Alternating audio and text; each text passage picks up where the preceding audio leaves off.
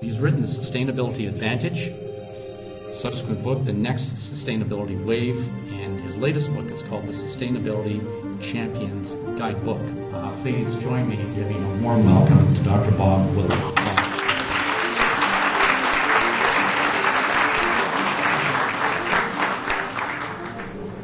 This is such a humbling experience. My goodness. I know how many experts there are in the audience. Um, and after all those nice words, I don't know quite how I'm going to live up with this. I feel like I just died. but thank you for coming to my funeral. Um, so, the intent of this little presentation, and I'm, I'm, aware that some of you have been standing for a while, and I, I want to respect the fact that, that, there are other things that uh, you're still going to have a chance to do tonight. So, I'm going to do a much more abbreviated version of this presentation than I normally do. Uh, but I just wanted to give you a sense of um, well, let's think of the ambassadors. The ambassadors are going to go out there and try to be ambassadors for companies that maybe aren't quite as connected to these sustainability ideas as they might already be. And the challenge is how the heck do you connect with them in a way that excites them as much as some of you already are about these Partners in Project Green Ideas. So it has to do with communicating the business case for sustainability. Uh, by now, many of you understand that there is a pretty powerful business case for sustainability. That's one thing. Communicating it is the big challenge. So we're going to go through a little bit on the language, the stages that companies go through, and the way in which you can quantify the benefits if you decide to do that. Uh, all of the slides that I'm going to be using tonight will be available to you through the Partners Project. Um, any of the spreadsheets that I reference will be also available to you as well. So the intent is to get these things into the hands of people that can use them, share them, give them away, plagiarize like crazy, sell them, I don't care. Uh, do whatever you want to do with them. But the intent here is to get some more traction in the business community. And when you've got 12 and a half businesses and 30 or 350,000 employees in this particular piece of the action, that's pretty exciting leverage opportunity. So let's get it out there and help people do more than they're already doing. Let's start with the language part. I happen to like the word sustainability. There are lots of other words out there. So if you were to, to do a Google search on what these different terminologies might be, here's a random sample of some that you might come across. I know that many of you are familiar with the top one, the Brundtland Commission. That's the touchstone definition of what sustainability or sustainable development is all about. The one at the bottom, four words. You've got a fighting chance of remembering that one. Uh, the one in the middle uh, kind of appeals to me, though, because of the word flourish. If someone were to ask my wife how our marriage is, and she said, sustainable, the word flourish would be kind of nice to have somewhere in that conversation. So the, the idea that this could actually be neater, better, more fun, as opposed to a bunch of takeaways, that's kind of a powerful idea, and that we need to help people understand that this is about things getting better as opposed to removing things that we enjoy. So when you take a look at all of these different definitions, usually you end up with a couple of themes. The top one is about the future, intergenerational, intergenerational responsibility, as well as us. Next one, this little blue marble that we call planet Earth, suspended in the universe, is it. We don't have any umbilical cord going somewhere else. So we have to live within the carrying capacity of this planet. And the last one is this gnarly issue of social justice or social injustice. This unfortunately widening chasm between the haves and the have-nots in the world, that's not good. It's not sustainable. So as you take all of those ideas, normally you distill it down into the three ideas at the bottom, environmental, economic, social aspects of sustainability, some sometimes portrayed as the three legs of the three-legged stool of sustainability. Any one leg, uh, if it's removed, would have the whole stool be unstable. So you need all three. Uh, of course, we want to have a good economic leg, businesses, that's okay. The idea that we have a vibrant environment as well, restoration, conservation, all those good things and the social leg, all the things that we as Canadians expect from our communities, the education, the health coverage, the safety, the security, good working conditions, all of those kinds of things. So the labels across the bottom of this slide actually are better labels than the word sustainability. We're talking about quality of life. We're talking about genuine wealth. We're talking about genuine progress. How many have heard of genuine progress? Uh, get comfortable with that term. I think you're going to start hearing more about it as an alternative to the GDP or the GNP, as a measure of the country's health, wealth. So France, for example, is talking about a genuine progress indicator now. Amazing. Have you heard of the genuine happiness indicator? Remember the country that has that? Um, Bhutan, right. Little country sandwiched between China and India and the Himalayas. They're the happiest country in the world. Go figure. So what we've got here are a number of metrics that are starting to creep in to legitimize the idea that if someone asks, how's life? It's unlikely you're just going to whip out your bank book and show them how good life is. You know, it's more than money. It's, it's more things as well. So that's what sustainability is all about. Now, if you go to a business person, a hard-nosed, frantic business person, what might you use as the language around this? Well, there's lots of different language. All of those labels have different origins, but the equal signs imply that they are starting to become interchangeable labels for the same three legs of the stool. So even corporate social responsibility is morphing into be a very holistic phrase that includes environmental as well as economic plus social. Even the word green has, of course, environmental but also social and economic dimensions. So all three there, those labels are becoming more and more interchangeable, and that's good. Uh, and as you can see, there are the threes and the three Ps as, as, well, different ways of depicting this. And each of us has our favorite word. I kind of like the word sustainability. Have any of you heard of Amory Lovins? Amory Lovins, Rocky Mountain Institute. He's a guru in this stuff. He co-authored a book called Natural Capitalism, a fantastic book. One of the best books on this stuff that I've read. Um, and I asked him what word he uses. And he says, well, I never use the S word. I always use the S words. He doesn't use sustainability. So I said, what do you call it? He said, well, we call it whatever you want to call it. They want to talk about environmental stuff, we talk about environmental stuff. They want to talk about um, green stuff, we talk about green stuff. Whatever they want to call it, we call it. So he's very careful about his language, which leads me to the point here.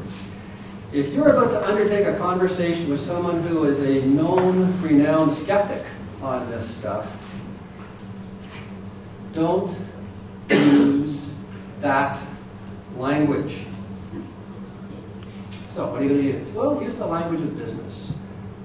Why don't you just call it asset management? Because that's what it is. We're talking about managing the various kinds of capital that the company is directly or indirectly dependent on for its livelihood. So, of course, this one's a no-brainer, right? The financial one, most business people understand that one in spades. But the natural capital one, that's, that's the source, direct or indirect source of the energy, the materials, the water, the food, all of the things that the company needs to be a good company. And then the last part, human capital, passion capital kind of goes with that, the energy that people bring to the, the job. And social capital. Social capital is code for what? When you think of social capital, what is that? Goodwill. Goodwill. With who? With your, all your stakeholders. Beautiful. Thank you. All the stakeholders. Your relationships you have with all of your, especially important stakeholders, right? Your customers, your suppliers, your investors, the regulators, all those folks that are in your purview and are important to you. So social capital is just code for good relationships with all of those important people. You want to have a good reputation with them. Human capital, of course, is people inside the company, uh, human resources, that kind of thing. And of course, you want to have sustainable value creation. So what's this all about? It's about language. The point here is we need to be very careful that we talk the language of the people we're trying to engage in these conversations. And this is comfortable business language, so for some people this is more inviting as the language to use. I remember talking to some non-governmental organization folks about this language thing, and somebody in the back said, oh, you mean you want us to talk suit? I said, yeah, talk suit. Right, so talk the language of the people you're trying to engage in this, instead of insisting that their language is all wrong and they should be using sustainability language. Get with the program here. We need to get some momentum going, get some traction. You can get to the other language later on, but if you want to set the hook, you need to be able to engage with them in language they understand, they get that. Okay, these are the stages that companies go through as they start to embrace sustainability as a potential business strategy. The first place, really good place to be, so people normally move up to the second stage, which is the compliance stage. And for a lot of companies, because of the expense and the bureaucracy in that evolution from one to two, they're not excited about going any further and getting more expense and more bureaucracy. But the irony is it gets better as you go up. So companies voluntarily go to stage three. They go beyond complying with the regulations, the health and the environmental and labor kind of regulations in their jurisdictions. Why? Because of those three reasons. And you saw on the slides, you heard in the, the testaments here, most people get their toe into that water for very good business reasons. They can save money, right? Which is what eco-efficiencies are all about. It's saving money on one of four things. Energy, which is the biggie. Water, not so big because we don't charge enough for it. Waste handling, second biggie. And materials, either in the manufacture of the products or the packaging of the products. So they can reduce some of that material required, dematerialization, whatever you want to call it. So saving money on energy, water, material, and waste handling is eco-efficiencies. That's the low-hanging fruit of sustainability. Most companies get it on that, and they're trying to do more on that, and that's the beginning of the journey uh, going further. PR crisis, you don't want to get hit by one of those the way Nike did or other companies have. Uh, so you want to get ahead of regulations and get ahead of public expectations. What was the problem with Nike? Child labor. Child labor, but where? Yeah, somewhere else, right? Somewhere else. The interesting thing was Nike was very proud of their sustainability track record because they put out a report every year regaling themselves and all of their important stakeholders with how terrific they were. Why? Because they were talking about Nike. And then all of a sudden the public said, excuse us, we would like you to talk about your supply chain. And they said, but we don't own the supply chain. They said, yeah, but you're still accountable for the conditions in that supply chain. That's a whole sea change. And you get that sea change going on, and all of a sudden, the rules are just unpredictable. And that's that twitch level in businesses, which is getting companies to start thinking about, good God, we could be blindsided by some other set of expectations if we're not careful. But Nike and the Gap and a few other companies got really, really hammered by the fact that people were expecting them to be accountable for their supply chain. Huge, huge change. All right, so beyond compliance. By the way, beyond compliance, just to help you understand, I used to work in, in IBM uh, Canada for 34 years uh, until 2000, and um, we were in a beyond compliance phase. We had a group that were the uh, environmental experts, environmental affairs, did wonderful things, saved a lot of money, looked after all the chemicals really well, won awards. Then there was another group that looked after the social leg of the school, community stuff, uh, computers in schools, volunteerism, philanthropy, all that good stuff, won awards for it, really good stuff. Neither of those two groups talked to each other. By the way, things are very different now, but at that point they, they didn't. And they were both behind the green wall. They did their shtick, and the rest of us got on with making money. Happy they were doing whatever the heck they were doing, but totally divorced from the relevance of that to what we were doing, which was selling and servicing hardware, software, and that kind of stuff. So, that's stage three, run by experts. Good experts, but marginalized by the rest of the business. Stage four, you know, by the way, that's a step from two to three. That is a leap from three to four. There are no companies in stage four today. But aspiring to it, you bet. Why? Because they can get more business value. Stage four is when everybody in the company is thinking of the environmental and social impacts of their decisions on the fly as they make them. It's baked into the culture of the company. Everybody, executives, middle management, first line employees, everybody is thinking of this. It is a different kind of company. Why? Because it makes them a more successful company. Come back to that and how to quantify it. Stage five, I won't belabor that. Many SMEs, as, as you probably know, 98% of the companies in the world are 500 employees or less. Um, in fact, if you just take the small, which is what, 100 or less? 100 or less? Uh, it's 95% of the companies in the world, so more? 98, 79% of those countries. No kidding. No kidding. Wow, okay, so a lot of them.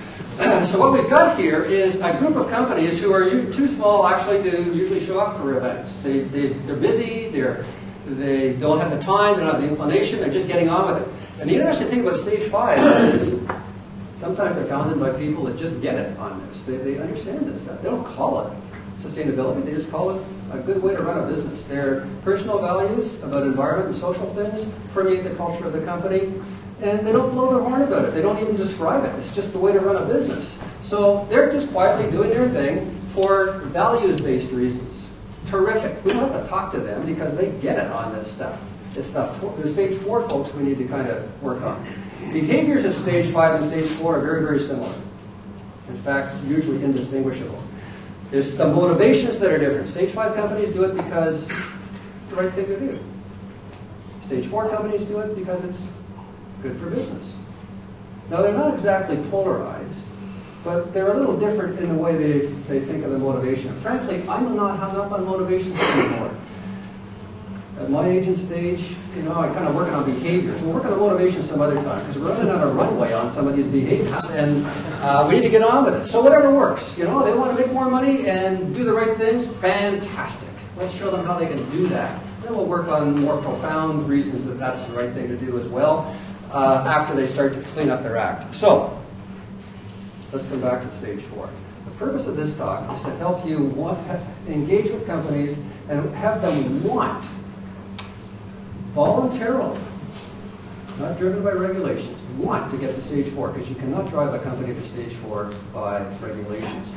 Regulations have a very, very important part to play because they keep the platform high enough for all the laggards to, to stay in line. But what we're talking about here is the holy grail here of companies that are really, really into this. So let me just ask you, think of your own companies. How many of you are at stage one? Stage two? Stage three. Stage four. Stage five. Fantastic. So a good cross section here. Uh, and sometimes it helps if you know a little bit of that before you have the conversation with the company so that you can connect with them in the right way. All right, so coming back to stage four. We're going to enhance the value of a company. How would you know the value if you saw it? Well, there's a metaphor here that might be useful the company value iceberg, the part above the waterline, which you can touch and feel, and the, the whole iceberg, which is called market capitalization. So these are the labels that kind of help flesh that out. The accountants help you with the tip of the iceberg. That's what business schools are all about. The stock market helps you with the whole iceberg, the market capitalization, which is simply the value of each share multiplied by the number of shares. You end up with the market cap. That's really simple assets minus liabilities is the tip, and the stuff in between, we don't know what to call it, so we call it what it's not. Intangibles, non-financials, extra financials, reputation, brand image, all of those relationships we talked about before, the social capital. Mush. Mush. Now the stock market helps you evaluate all of that because it does the calculation in terms of prices times the number of shares. What if you're an SME and you're not listed on the stock exchange? What do you call that bottom part? What do you call that stuff that's not the hard stuff? Goodwill. Right, and how much do you get for goodwill from the usual accountant? Zip. Somewhere between zero and a buck. So, if you're an SME, you call it goodwill. So, does this logic apply to you? Yes, it does, because even though it's not usually valued very well, if you ever went public, it certainly would be. Uh, but the principle is, is, the same. Now, the interesting thing about this is not so much the top and the bottom, it's the waterline. Back in the early 80s, most of the value of a company was hard stuff, about an 80-20 split. By the end of the 90s, it was more like a 30-70 split. Today, it's more like a 20-80 split. So, if you're paid on stock or stock options and you're a big wheel in a company, you start to worry about the bottom as much as the top because that's a proxy for share price, which is very important to you personally all of a sudden. You with me on that? So you don't want that bottom part eroded. But swimming around the bottom part of the iceberg are all these stakeholders we talked about before. And some of those folks are getting a little bent out of shape about some of the things the company's doing or not doing. So they get a little bit more agitated. Usually the ones that historically have been really concerned are the non-governmental organizations like who? Who are the activists? Greenpeace. Hospitals. Hospitals, interesting. Sierra Club, you know, the, the ones that, that publicly embarrass companies and make it their business to do that. And then there are the scientists who've been blowing the whistle for quite a while, uh, trying to get our attention on these things. And uh, unfortunately, neither of them have a lot of clout in the business community. Who are the important stakeholders to the business community? Name three. Customers, absolutely. Banks. Banks, oh, yeah, you want to make sure that you're on the good side of the banks, right? Who else? Lawyers. Employees, right, very, very important. So, here's the interesting point. In the last five years, whatever the NGOs and the scientists have been trying to get the attention on in the business community has had a chorus starting to join and sing from the same hymn book in different languages. All of those folks there are starting to get a little bit upset about how the companies are or are not performing in terms of their environmental and social reputation. So there are some risks that they can bring to the bottom of the iceberg and some nice opportunities to the top. So it's a two-part business case. Make sure you, you mitigate the risks and that you capture the opportunities. And these storm clouds, sustainability storm clouds, are roiling that sea of stakeholders big time. So, waste and toxicity been around there forever. Poverty and social justice, big deal, not only somewhere else, but here in North America as well. Uh, species extinction and overharvesting, big issue, big issue. But the biggest one is the one in the middle, which is for some reason almost illegible. But it says climate change and the energy crisis, which is really joined at the hip by fossil fuels. A close second to that is food and water. Watch, watch water. That one's coming on strong. Big deal. Not only in, in Australia after a 10-year drought, in India and China and so on, but in the western part of the continent here. Big issue. Big issue. Talk quite a lot. Oh, I won't. Okay, so water can be a big issue. And food, closely connected, right? About 70 to 80% of the water in the world is used for agriculture, so big deal.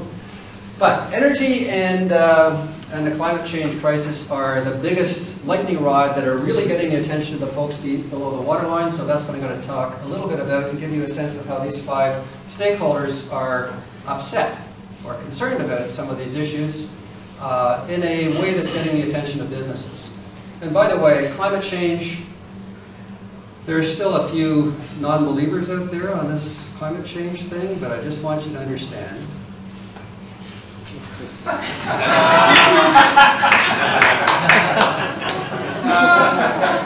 so something's going on out there. Right? so we're starting to clue into this. Maybe it's because of the Al Gore movie and books and DVD and talks and all that kind of stuff. Maybe it's because of Hurricane Katrina, both of which happened around 2005, 2006. That was a turning point.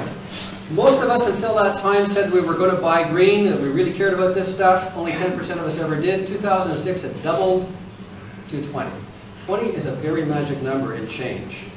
You get 20% of a population on board and magic starts to happen. It's called a critical mass. So if you're in the retail business and you could care less about climate change, all of a sudden your opinion just became irrelevant. Because your customers do. And that's growing. And even in 2009, that's still between 30 and 40%. It's amazing. People are using this as a criteria for household products, for appliances, those kinds of things, because they care about them. And it's fanned by the media support for all of these things. So, customers care. Employees, big time. So there are a lot of surveys that show, as the first two do, uh, that people leaving university are looking for companies that have good reputations on corporate social responsibility, CSR, so that they feel proud working for those companies. They want to stay with the companies, which is the third bullet. And the last one is the most important one. They're more productive working for those companies because they're proud to work for them. They're energized. They like that company. And they unleash their creativity and help the company be better. Huge. Really, really huge. Third, economists. How many have heard of the Stern Report? Wow. That's unusual. That, that's great. That's unusual. Really informed audience. Okay, so I'll just keep the pace going here. Uh, you'll notice that he put some metrics around this before. This was a message economists had de delivered about five years before, but without the numbers. And what he did was he said, we better get on with this stuff because it's going to cost us a small fortune later to get climate change under control. Much, much more, 5 to 20 times more than what it would cost us if we start now. The second point is huge economic benefits if we're smart about it. Worst global depression in the history of mankind if we're not. And the third one, and this is the interesting one, is Canadians, we need to put a price on carbon. And we have two choices. We can do that with a tax or we can do that with cap and trade. But we have to put a price on carbon because we have to be able to get our carbon emissions down to 80 to 90% below 1990 levels by 2050 or we're cooked. Which happens to be what the climate scientists are saying, which is kind of an interesting echo from them. Right? So the economists are very concerned about the economy, the economic impact of this. And the third, uh, the next one is the investor community. How many have heard of the Carbon Disclosure Project? Cool, okay.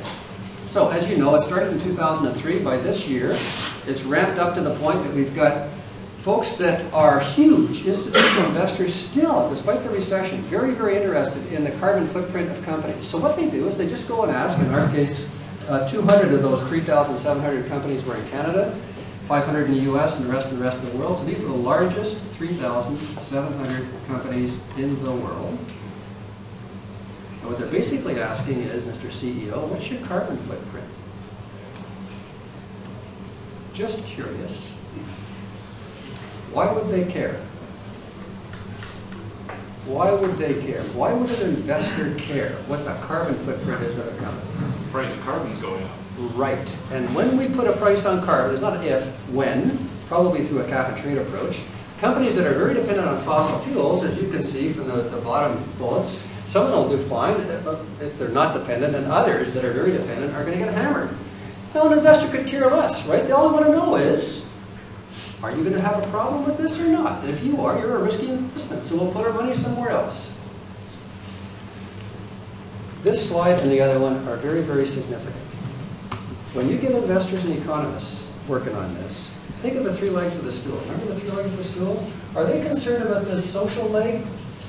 Not so much. Are they concerned about the environmental leg? Not so much. It's the economic leg. And all of a sudden, this thing has morphed from being a greeny tree hugger issue to a hard-nosed economic investment business issue. And that's happened in the last four years. That is a sea change. When you get those voices in the chorus, everything changes. And it's phenomenal what's going on out there across the world. Not only in Canada and the US, across the world. It is incredible. Last point here, we may think as Canadians that we're way ahead of the US. I just want you to understand that they're not so bad, actually. A lot of cities, over a thousand as of this morning, have signed up for this climate protection agreement, which in, in effect says that they're going to try to honor the, the Kyoto Protocol at the city level. And these aren't little dinky towns. These are New York, Chicago, Los Angeles, Washington, Houston, and so on. These are big cities that have signed up with uh, a strong commitment from their mayors that they're going to get their act together on this. And then you get these clusters of states, the West Coast led by, West Coast led by Arnold. I mean, go figure, right? I mean, anyway, whatever works. So Arnold has got religion on this. Midwest states all over it, uh, especially south of Superior and just west of Lake Michigan. There's something about those Minnesota and uh, and um, uh, Wisconsin. Thank you, thank you. Amazing stuff going on. Then there's the East Coast states as well, and then Florida all by itself. But they're all coming up with cap and trade systems, and it's going to drive companies nuts if they're all different. So, of course, there's pressure on the feds to level a playing field, have a consistent federal cap and trade system. And as you can see, there are four of us, provinces, Ontario included, that have joined with them. So let me tell you, it's happening at the city level. You go anywhere in the world, that's where the action is. Next level up, states and provinces. Next level up, last ones to get it, feds. That's the way it works.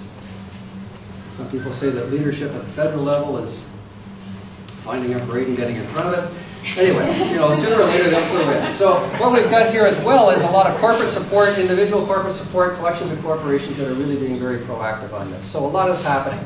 And essentially what they're saying collectively is, get your act together, Mr. CEO, because we're getting a little upset about the way in which you are not or are uh, behaving, and we think that you should be more socially and environmentally responsible, especially on your carbon footprint. Now, that's a risk if you don't step up to it. Uh, if you do, that's okay. You okay on the risk part? That's, that's an important part of the business case because that gets their attention. Then they're ready to sit still for the quantification of the business case. When I wrote the first book, which was on quantifying the business case, I figured, God, it's so compelling. They should be lining up for this. Why isn't everybody doing that? Because the risk factor wasn't high enough at that point. That's what you need to kind of wake them up, the burning platform part, and then they get excited about it. Walmart, when they first started to do their stuff on environmental stuff, never talked about the savings. And then they said, geez, this is, this is kind of good. But originally, they were just in damage control on that. Okay, so opportunities. You go to a company, you start as an ambassador, you start to talk about opportunities, their eyes will glaze over. Why? Because they've already got a lot of opportunities waiting for them right now, driving them nuts. So, those are the things that are already on the plate of these very, very busy people. And we come along and say, we've got another opportunity for you. We say, well, okay, we'll put it down here at the bottom. Uh-huh. We- We'll get to it because we care about that stuff, but we just got these other important things to do first. So, this is the second most important slide. It's called positioning. Don't call it a goal. Call it an enabling strategy for the things that are already goals. It's a way to get them sooner and better than they otherwise would have. So it's a way to get these things which are already driving them nuts to happen in a more powerful, dynamic way, a better way. So let's take the acid test, the one at the top left. Profit. Can a company actually make more money if they pay attention to this? Yes. Second question, oh yeah? How much? Well, if you're a large company, 38% more profit in five years, fully costed, no hidden tricks or anything,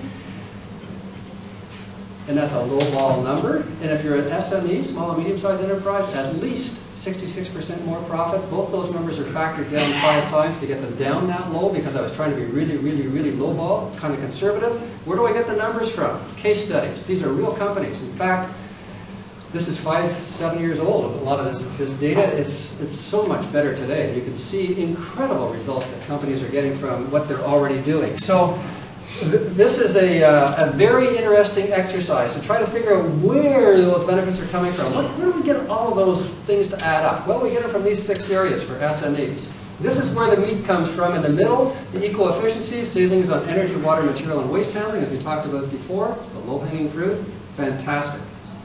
Nothing wrong with that. Go for it. It proves the point. But it's in the, in the sandwich of HR stuff at the top because you're able to attract, retain, and get more productivity from folks because they get excited about this stuff. And you have more revenue streams from people that are starting to vote with their wallets for the things that they want. So opportunities for additional revenue maybe a break on your borrowing costs because you're a better ri- risk uh, in the view of the insurance companies and the banks. So how much in each of those areas? Approximately this amount. This is the starter set. So if you use the spreadsheets that will be made available to you, inside that are all of the assumptions that generate those kinds of numbers. They don't add mathematically to 66% because 66% is the bottom line result of those. Some of those are top line numbers.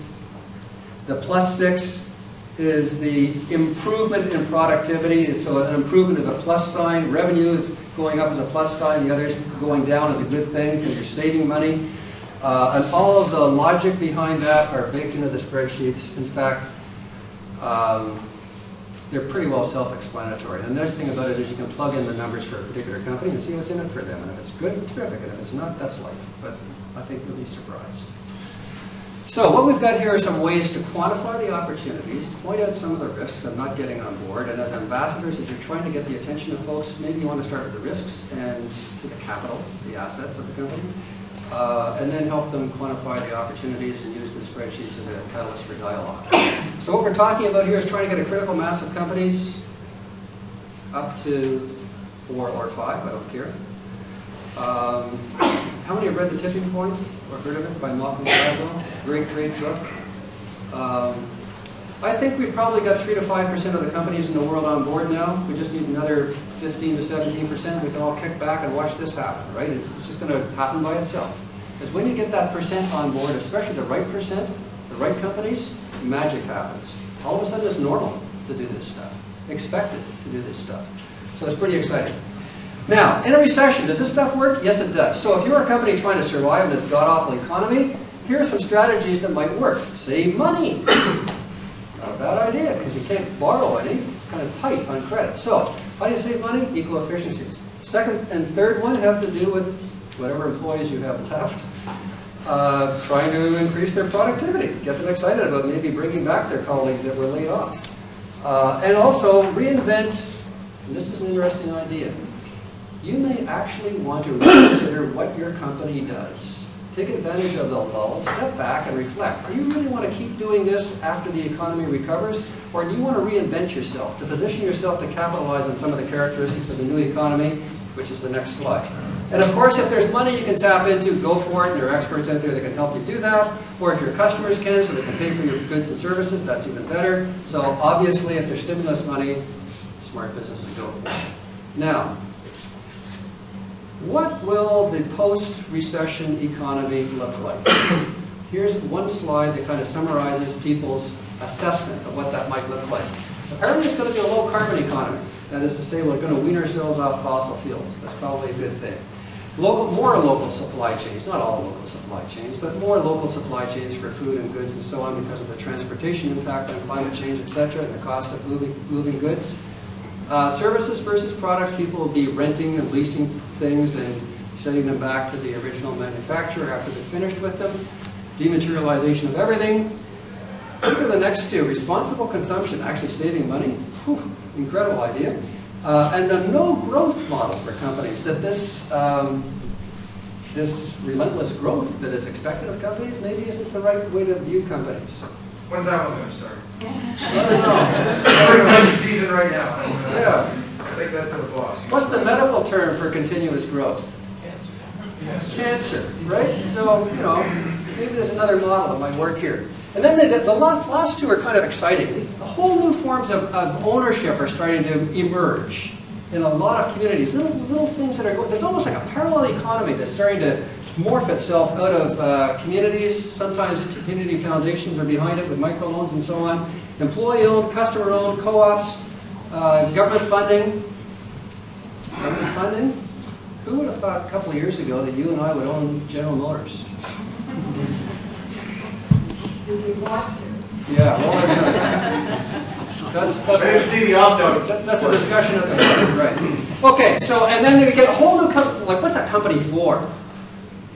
That's actually starting to get some debate. Very, very interesting. You have these models, sometimes called hybrid, where you take the best from government, best from non-government, and best from private sector, and you swizzle them together, and you come up with a hybrid approach to running a business. Social enterprise, fourth sector, all those kind of, kind of terms. So I don't think there's going to be one that wins. It's going to be a rich diversity of them, thank goodness. Um, of course, the current model will continue for a long time, but the others, I think, will start to get some traction. So it's exciting times. Everything, everything is up for grabs. Everything. And we have an incredible opportunity to make this work. So, what's going on? This is flat out smart business. Is it good for the planet? Yes. It's also very, very good for the bottom line. So it's smart business, a whole lot of things that, that businesses are expected to pay attention to, expectations of stakeholders and so on, are behind this. Lots of partners, hence the name, and opportunity for leadership. Leadership at the personal level, each of us, which I struggle with a lot because I fly way too much. Um, I was in Halifax this morning, I'm here now, next week I'm in Edmonton. But about a third of my talks this year are going to be by webinar and video conference. So I'll do the talk, but I won't be there. I mean, physically be there. And uh, by this time next year, if I have to travel to do a talk, I don't think I will. Uh, this climate change stuff is getting kind of serious, and I kind of think I need to walk the talk on that stuff. So I think each of us needs to kind of reflect on that and say, okay, at a personal level, what's my footprint and how can I do something about it? At a business level, how do I engage my colleagues in this stuff in a useful way so that I don't get marginalized by them, but they get excited about it, which is what that intent of that third book was all about.